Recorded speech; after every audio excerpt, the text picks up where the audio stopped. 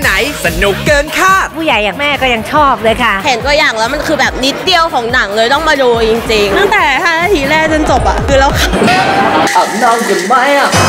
แม่ไหนไฟแรงเฟ้อฉายแล้ววันนี้ในโรงภาพยนตร์